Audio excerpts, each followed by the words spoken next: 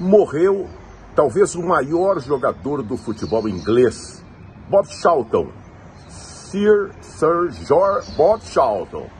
Cara, nossa senhora, quem viu ele jogar? Eu era garoto, era.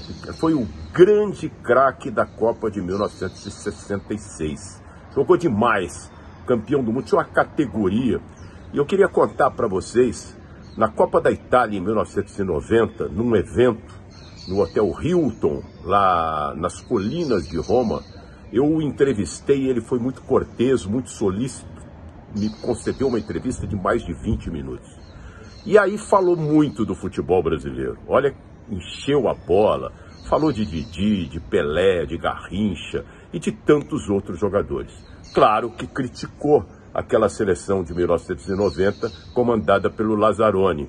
E eu fico me lembrando de tudo aquilo que ele falou de bom do futebol brasileiro, hoje nós não podemos repetir sobre a seleção atual, que é exatamente o oposta.